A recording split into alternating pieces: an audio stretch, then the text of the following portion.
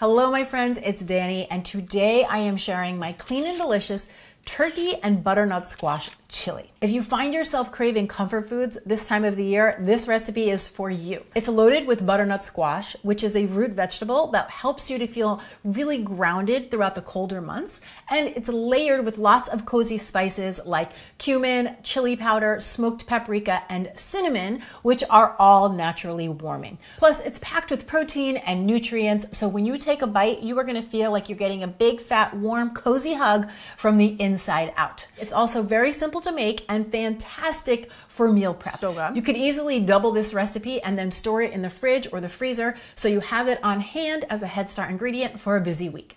Now, the first thing that I like to do is prep the vegetables. So I've got one onion, and I have find that the easiest way to chop an onion is to slice off the stem side of the onion. Keep the root here intact. Then lay it flat down, come over the top, and slice it in half.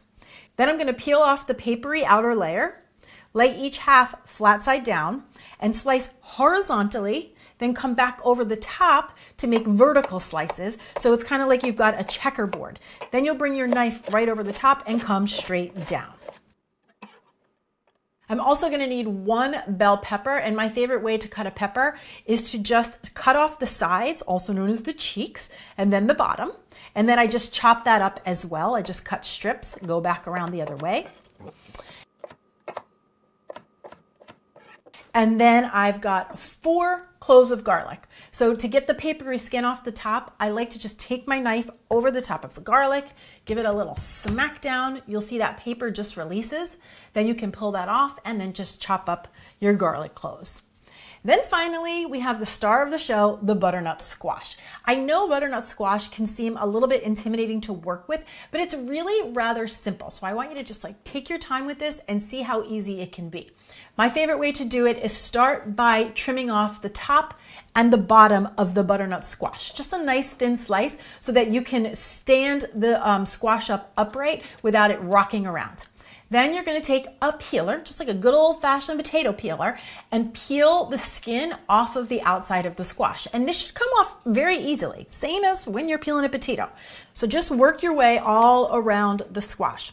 Once you've got all of the skin removed, I like to lay it onto its side, and then right where the neck and the bulb meet, right, right about here, you're just gonna slice that squash in half.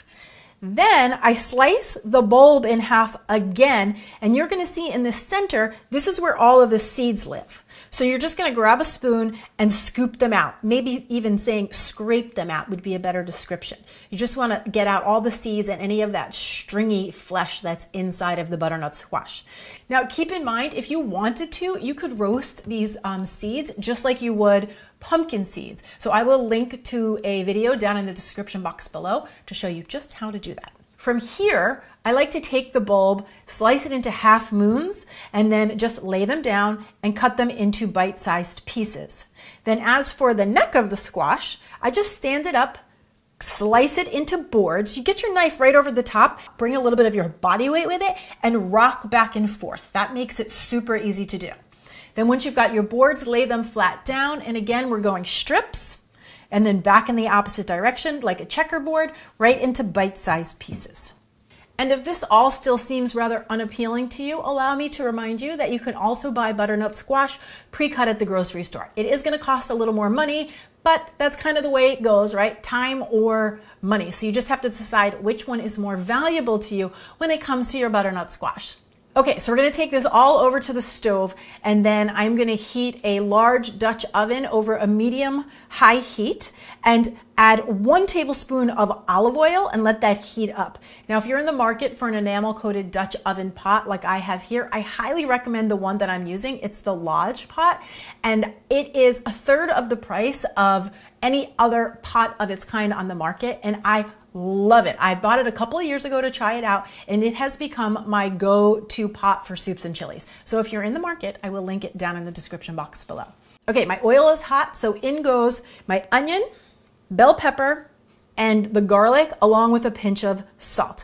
I'll mix that together and let it cook for about six to eight minutes, stirring periodically. You're just looking for the veggies to get nice and soft and tender and for those onions to become translucent.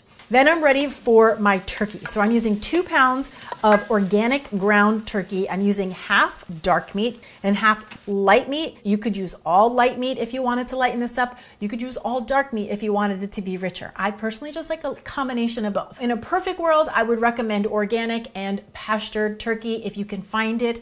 Um, I will link to some of my favorite resources down in the description box below if you want to check them out. So then I'm just going to season this with a little bit of salt and a little bit of black pepper. We're just layering the flavors as we go. Now keep in mind this recipe would also work with ground chicken, uh, ground bison, ground beef. So use what you have, use what you love.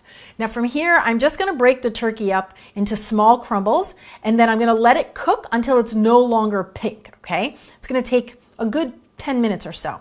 Mm, this is looking really good. So now we're ready to add in the butternut squash. So I've got that butternut squash all chopped up. You want about six cups of butternut squash. Get that into the pot along with our warm, cozy spices. So in goes one tablespoon of chili powder, two teaspoons of ground cumin, two teaspoons of smoked paprika, a teaspoon of sea salt and half a teaspoon of black pepper. And I totally forgot to add the cinnamon, but don't forget one teaspoon of cinnamon. So good. I'm gonna give everything a nice big stir. I wanna make sure that all of those delicious warming spices are coated around the turkey and the vegetables. And then once everything is looking good, like this is here, I'm ready to add in 28 ounces of fire roasted diced tomatoes. Again, the fire roasted is to add a little bit more depth of flavor, adding a little bit more comfort to our chili. And then finally, I have four cups of a low sodium chicken broth into the pot.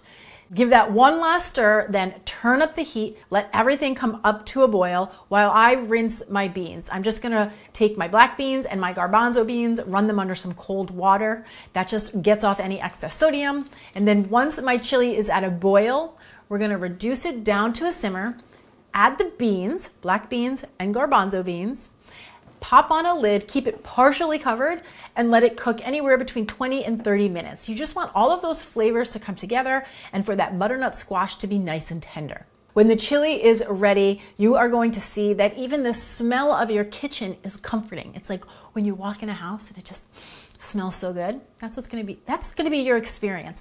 And my final step because I cannot resist is just to throw in a big handful of chopped baby spinach. This could also be kale or whatever your favorite green veggie is, but this is an easy way to add some more color and to work some more greens into your diet. Simple ingredients like root vegetables, warming spices, and fire roasted tomatoes are such an easy way to create the comforting experience we crave this time of the year while still enjoying a delicious, nourishing meal. And I promise you, this one is so good. I just love the way the sweetness of the butternut squash pairs with all of those warming spices and then layered with the fire roasted tomatoes. This is truly a hug in a bowl, and I cannot wait for you to give it a try. As always, thank you so much for watching. And if you haven't already, take a moment to subscribe to the channel and hit that notification bell so you never miss a new recipe.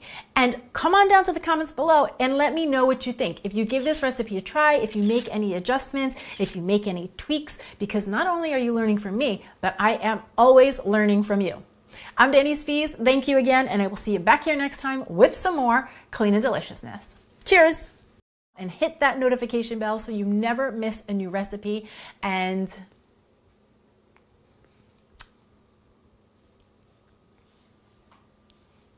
really, thanks for being here, guys. You guys rock. What the heck was I saying? Okay, we're right there. Okay. Nourishing meal.